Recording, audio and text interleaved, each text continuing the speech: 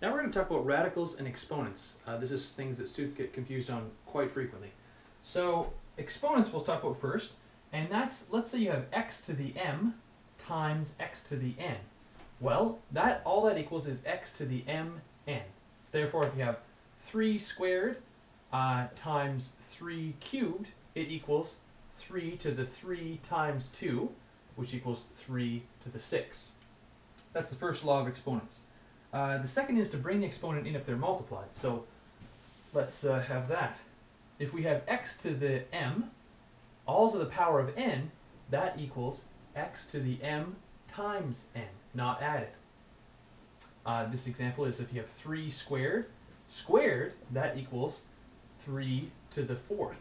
That's because 3 squared is 9, 9 squared is uh, 81, so this equals 3 to the fourth, and 3 to the fourth is 81 because we know 9 times 9 is 81, or we can express it as 3 times 3 times 3 times 3. 3 times 3 is 9, 3 times 3 is 9.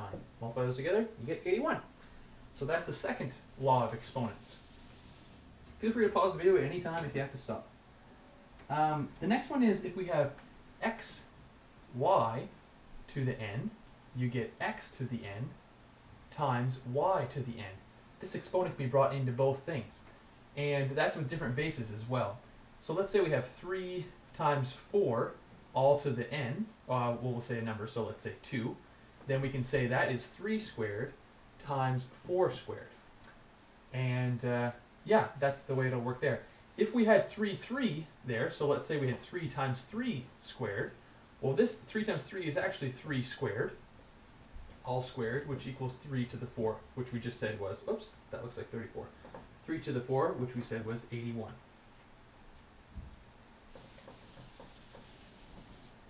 So let's talk about the uh, reverse of these. If we have x to the m over x to the n, then that equals x to the m minus n. Again, 3 over 4, you can get the example now, basically based on these variables. Um, after that, we have x to the minus n. So if we have x to any negative exponent, it's the same thing as flipping the exponent to the bottom of the fraction by saying x to the 1 over, or sorry, 1 over x to the n. So you just, whenever there's a negative exponent, you always flip it to the bottom and have the same situation. Um, x to the n, x over y to the n can be expressed the opposite way. Well, not the opposite way, I'll show you that too. So x over y to the power of n is just equal to x to the n over y to the n. Again, very simple, it just, the n comes into both things on top and bottom of the fraction. So now let's talk about uh, radicals. A radical is when you have x to the 1 over n. So x to the 1 over something, like x to the 1 third or x to the 1 half. Um, x to the 1 over n just becomes the nth root of x. Or if you have x to the 1 half, that becomes the square root of x, because this is just an index of 2 for square root. Square root is just uh, 2. 3 times 3 is the square root. Cubic root would be 3 times 3 times 3, which is 27. So all the same rules basically apply to that.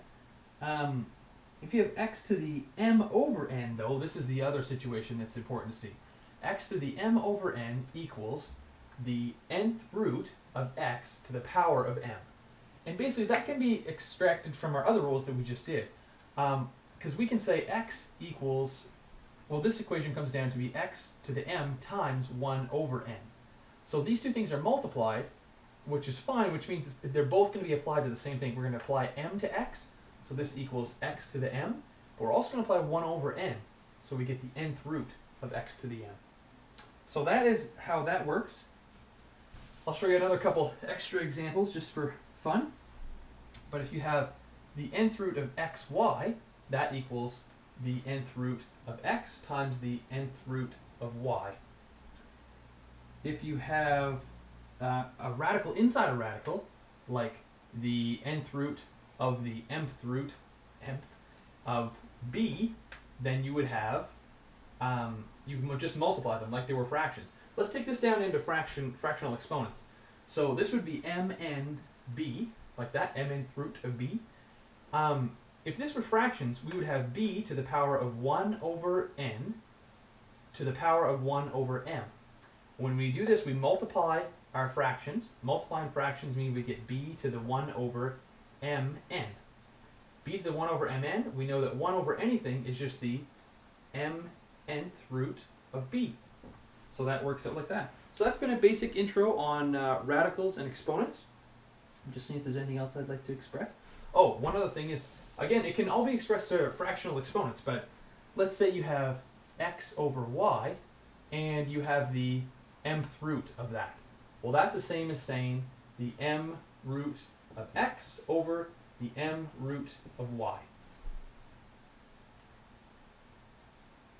And that's basically it. But I would suggest you always express them as uh, fractional exponents, like 3 over 2. So let's say I have the cubed root of, you know, b squared. Well, all that is is b to the 2 over 3. Because um, then you can multiply them. So if I want to multiply that by b squared, I know when I multiply, all I'm doing is saying that is b to the 2 times 2 is 4 over 3. So hopefully that uh, works out for you. Hopefully that helps you. Oh, sorry, that's added. My mistake. That's added. So I've added these exponents. So 2 over 3 is the same as 6 over 3. Add these together, we get 8 over 3. So b to the 8 over 3. Well, that helps you on exponents. If you have any questions, just leave them in the comments.